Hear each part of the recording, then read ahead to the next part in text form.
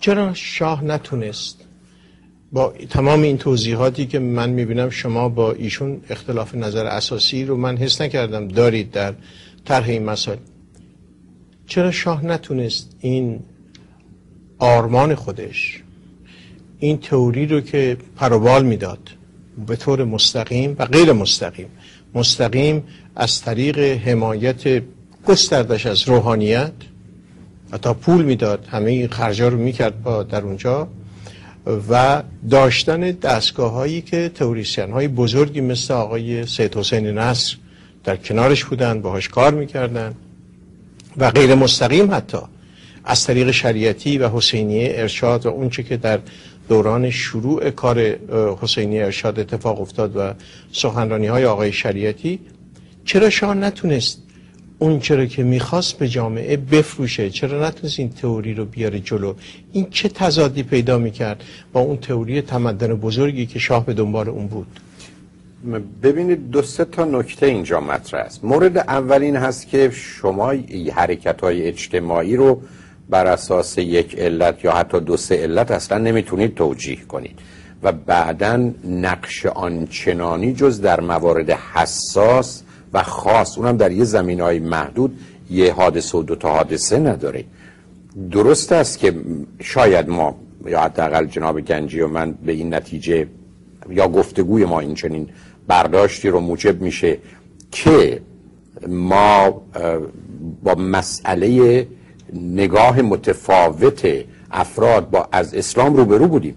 ولی اگر به همین جا خاتمه پیدا می‌کرد یک گفتگوی حوزه‌ای و مکتبی بود که شما اسلام رو این گونه می‌بینید دیگری اسلام رو نوع دیگری می‌بینه موضوع این بود که این ماجرا به صحنه سیاست و اقتصاد و جنبه های بین المللی کشید و این مسئله فقط در حد گفتگوی شاید ایدئولوژیک یا مذهبی نبود. دوم جوامع پیشرفته امروز ممکنه در برهه کوتاهی از تاریخ یه جنبه مسئله اقتصادی یا سیاسی یا ایدئولوژی تعیین کننده حرکات اصلی و اساسی اونا باشه. اما در بلند مدت شما با یه ساختار اقتصادی یه ساختار سیاسی یه ساختار حقوقی حتی بعدا پرورش و تعلیم تربیت و خانواده روبرو هستید.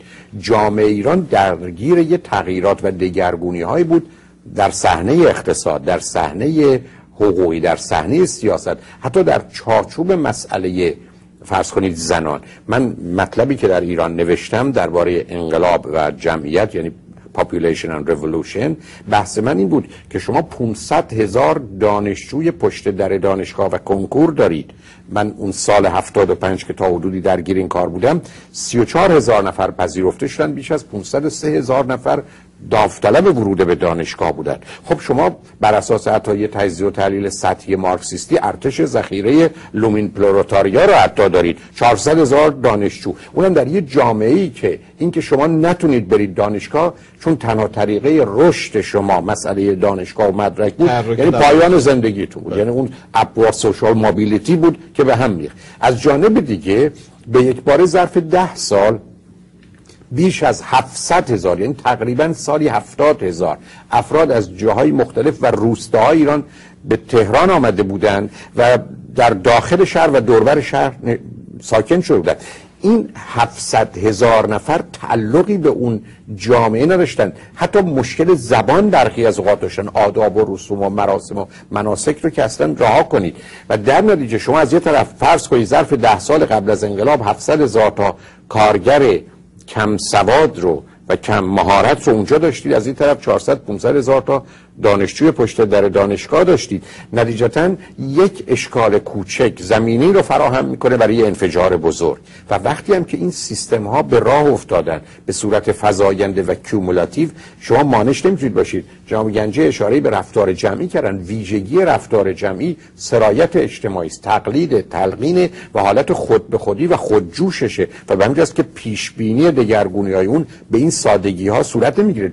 جهت و هدف های کلی رو میشه مشخص مشخص کرد. ولی اینکه امروز و فردا چه می‌کنه مثل که فردا شما به بانک تشریف برید یا نمی‌برید من نمی‌دونم. ولی من می‌دونم مثلا یک درصد مردم امریکا فردا به بانک مراجعه می‌کنن. بنابراین درصدا ثابت میمونن. بر اساس درصدا و بحث جامعه شناسی شما می‌تونید مطالب مطرح کنید. ولی این گفتگو رو شما در چارچوب فردی نمی‌تونید بکنید. نتیجتا برای اینکه پاسخ مشخصی داده باشم صحبت جناب گنجیرم بشنویم. من تصور می‌کنم ماجرای ایران بیش از همه اقتصادی بود. حتی یه بحثی وجود داره که وقتی که یه جامعه در حال حرکت ببخشید دکتر. ماجرای ایران اقتصادی بود. عرض کنم این نکته رو. بخوام به همین اشاره کنم. شما وقتی نگاه می‌کنید به توری های مثل جی تیوری که درباره انقلاب ایران به عنوان توری انقلاب افزایش انتظاراته که من حتی در کتابم هم آوردم البته به اختصار هست که لغت زمان انقلاب داره راجبش هم خدمتون عرض کردم. او حرفش این است که وقتی انتظارات یعنی expectation مردم هست و در این حال امکاناته. خیلی از اوقات فاصله بین انتظارات و امکانات به حدی است که این شکاف قابل تحمله.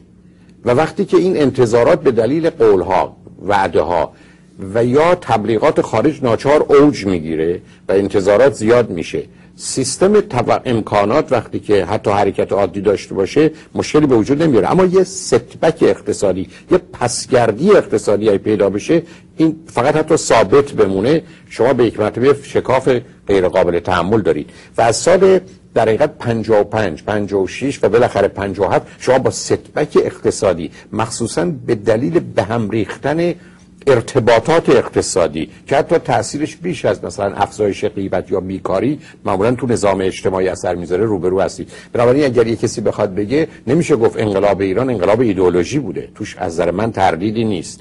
ولی اون چیزی که وجود داره دگرگونی های اقتصادی. که بعدا با خودش دگرگونی های سیاسی رو اصلا همراه نداشت و بعدا ستبک اقتصادی دو سه سال آخر از 54 ولی حتما 55 و 56 تا به 57 می‌رسه زمینه رو برای این شکاف فراهم کرد. مخصوصا وقتی اختلالی در کار مبادلات اقتصادی داخلی پیدا شد و البته مسائل دیگری که در صحنه بین‌المللی وجود داشت شرایط رو برای اون وضعیت فراهم کرد. نتیجتا ماجرا ماجرای اختلاف میان مذهب دار یا مذهبی و لا مذهب نبود که دیم خان مطرح کنه. ماجرام گفتگوی میان دو تا آدم مذهبی که دیدگاه و برداشت متفاوتی دارن نبود. داستان داستان اقتصادی سیاسی حقوقی اجتماعی جوانان کارگران دانشجویان بود و اینا با اون لعاب ایدئولوژیک تونست چسبی رو به وجود بیاره که این افراد بتونن در یک کلیاتی نه اینکه به وحدت برسن oneness نه به اتحاد برسن یونیتی بلکه به یک ائتلاف برسن کولیژن یعنی فعلا در دو سه تا است که در آخر کار این که شاه باید بره همه به نوعی در چند ماه آخر توافق می‌کنند و تکلیف کار معلومه. که حالا شما با یه هدف مشخص ممکن رو برو هستید و ساختار حکومت هم در ایران برای همچین در حقیقت ترک خوردنی آماده بود یا آماده شد. بنابراین شما در اونجاست که درست بسید که تیری شلیک میشه. دیگه بعد از همه پنج ساعت و ده ساعت و پنج سال گفتگو و بحث من و شما با یه گلوله جنگ حالا آغاز میشه. این چه اتفاق میفته موضوع بعدیشه آقای گنجی نظر شما رو می‌خواستم. والا خوشبختانه ما خیلی نظراتمون با جناب آقای دکتر هلاکویی مشترک. شاید از نظر شما که دوست دارید یک بحثی در بگیره مثبت نباشه ولی منم فرمایشات ایشون رو تایید می‌کنم. چند تا نکته رو اضافه می‌کنم در توضیح همون نکات. ببینید نکته اول این بودش که شاه یک حکومت استبدادی داشت و این حکومت استبدادی شاه رفته رفته به یک نوع سلطاریزم حکومت فردی مطلقه رسید که مطلقا حرف احد و ناسی رو گوش نمی‌کرد شاه و خودش تصمیم گیری های فردی می‌کرد. به طور مطلق یه دفعه امروز تشخیص می‌داد. دو تا حزب کشور که دو تاش هم حکومتی بود رو تعطیل می‌کرد. می‌گفت از امروز حزب رستاخیزه. تو همون جلسه ای هم که این اعلام می‌کرد همونجا هم می‌گفت آقای هویدا الان رئیس این حزب می‌ذاریم.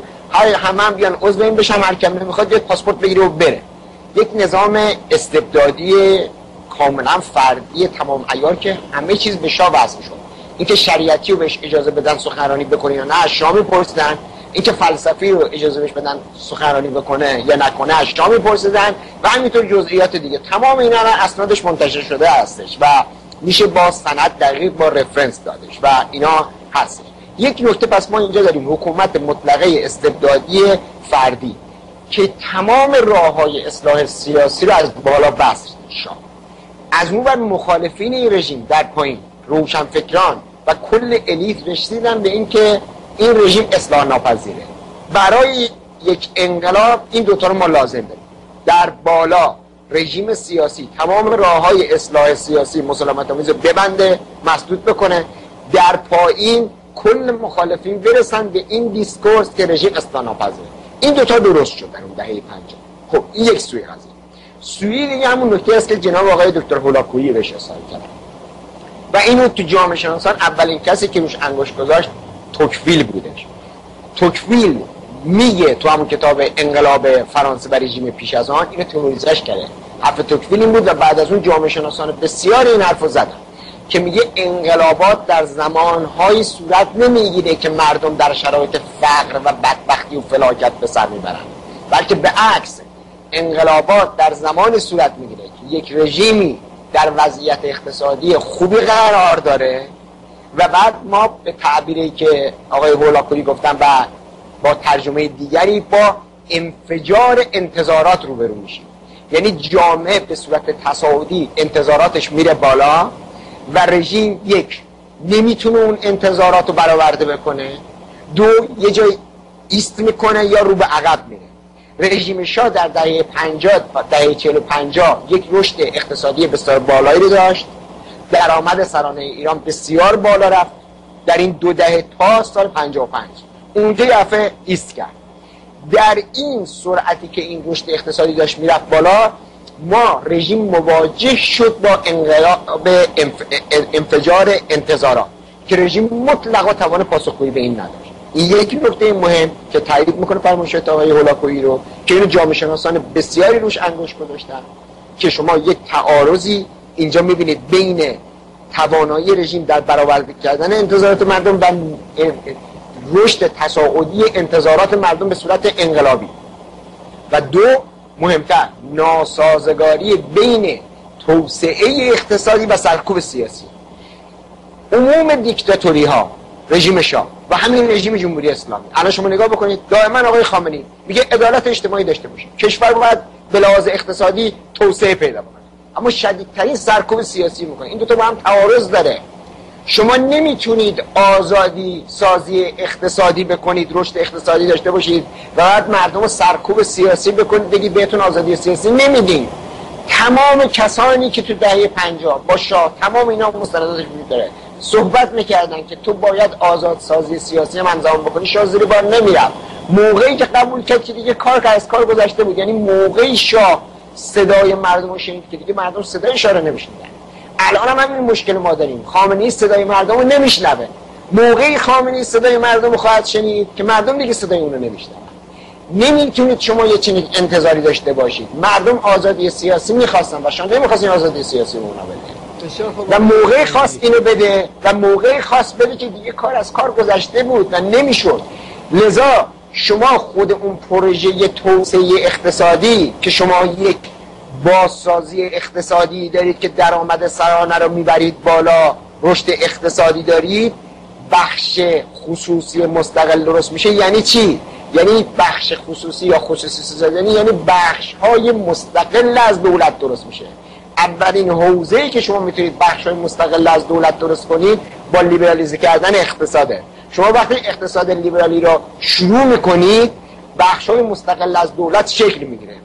و بعد جامعه مدنی می‌خواد شکل بگیره. اون رژیم سیاسی نمی‌ذاره سرکوب می‌کنه این بخشو این اجازه رو نمیده. کاری که الان چینیا می‌کنه.